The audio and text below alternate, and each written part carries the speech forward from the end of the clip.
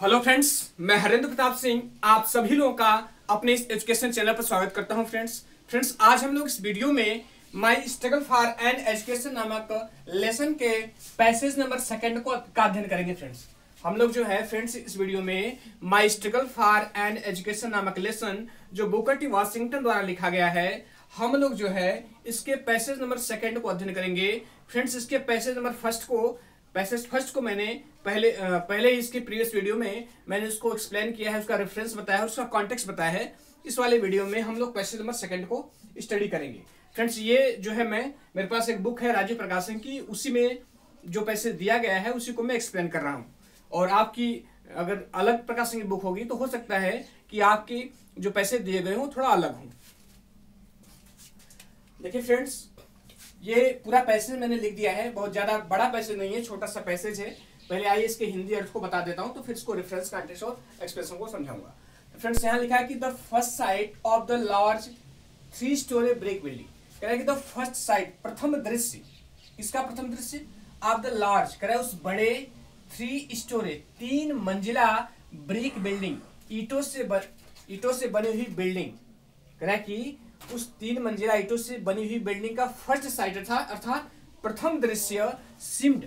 ऐसे प्रतीत हुआ कि टू हैव रिवॉर्डेड मी कि उसने मुझे पुरस्कृत किया हो या उसने मुझे पुरस्कार प्रदान किया हो फॉर ऑल उन सभी के लिए दैट आई हैड अंडरगॉन जिसे मैंने सहन किया है। जिसे मैंने सहन किया था in order to reach the place उस स्थान तक पहुँचने में। यहाँ अंडरगॉन का मतलब होता है सहन करना। इसमें राइटर करा है कि उस उस तीन मंजिला ईटों से बनी हुई विशाल बिल्डिंग का प्रथम दृश्य ऐसे प्रतीत हो रहा था, जैसे कि मुझे जो है उन सभी चीज़ों के लिए, उन सभी परेशानियों के लिए जो मैंने वहाँ तक पहुँचने के लिए सहन किया है, उसके लिए वह मुझे पुरस्कृत कर रहा हो। कह कि द साइट ऑफ़ इट कह कि इसका दृश्य सिम ऐसे प्रतीत हो रहा था कि to give me a new life, कि मुझे एक नया जीवन प्रदान कर रहा है। कह रहा कि उसका दृश्य जो है ऐसे ऐसे महसूस हुआ, मुझे उसको उसको देखने के बाद उस, जो स्कूल की बिल्डिंग थी, जैसे कि यह मुझे नया जीवन प्रदान कर रहा हो। तो ये इस पैसेज का अर्थ है फ्रेंड्स अब हम इसके रेफरेंस को कॉन्टेक्स्ट को और एक्सप्रेशन को देखेंगे। रेफरेंस में तो आप जानते हैं कि क्या लिखा जाता है?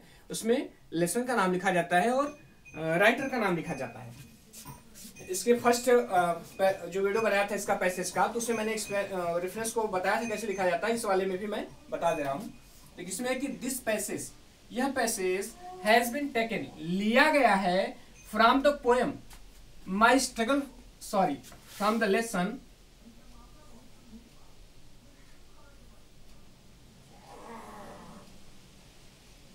या लेसन रहेगा।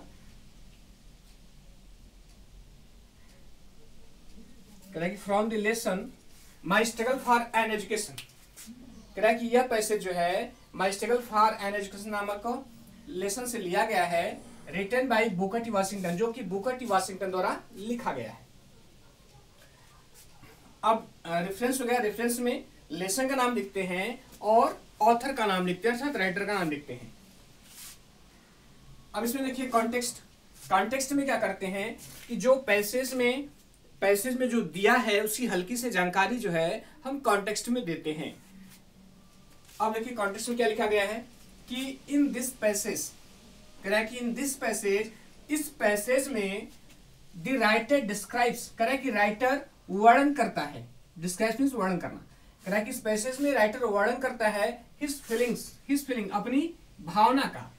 वेन जब ही रिस्ट हैम्पटन जब वह हैम्पटन जब वह हैम्पटन पहुँचा and saw his school building और एट द फ़र्स्ट टाइम और सर्वप्रथम अपनी स्कूल बिल्डिंग को देखा। इसमें कहना, ये चाह रहा है इस पैसेज में राइटर जो है अपनी भावना का वर्णन करता है, जब वो हैम्पटन पहुँचा और सर्वप्रथम अपनी स्कूल की बिल्डिंग को देखा।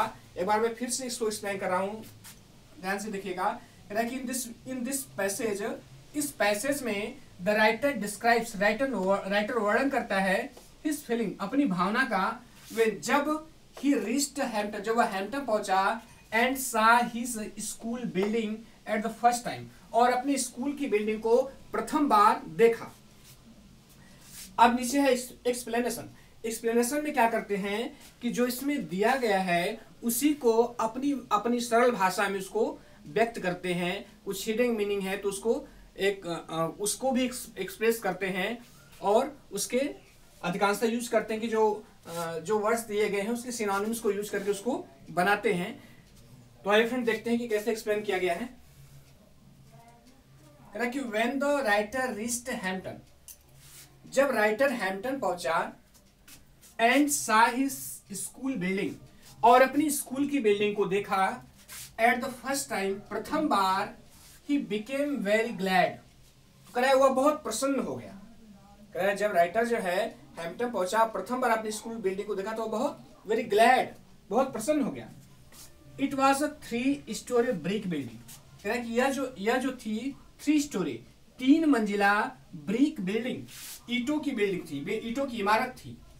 आफ्टर सीट इसको देखने के बाद the writer was so glad writer इतना प्रसन्न हुआ ग्लैड मीन प्रसन्न. राइटर इतना प्रसन्न हुआ दैट की he forget all his miseries right वो इतना प्रसन्न हुआ कि फॉरगेट फॉरगेट भूल गया। कि वह भूल गया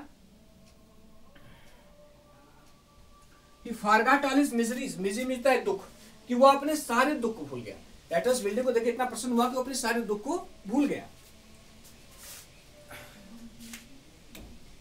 फिर से देखिए, स्वयं मैं फिर से बता रहा हूँ। आफ्टर सीइंग इट इसको देखने के बाद the writer was so glad writer इतना प्रसन्न हुआ दैट की he forget, he forgot all his miseries अपने सारे दुखों को भूल गया। दैट जिसे ही फेस्ड जिसका उसने सामना किया था on the way to reach Hampton Hampton पहुँचने के लिए रास्ते में। उन, उन सारी उन सारी दुखों को वह भूल गया। जिन दुखों का उसने जो है हैम्पटन पहुँचने के लिए रास्ते में सामना किया था।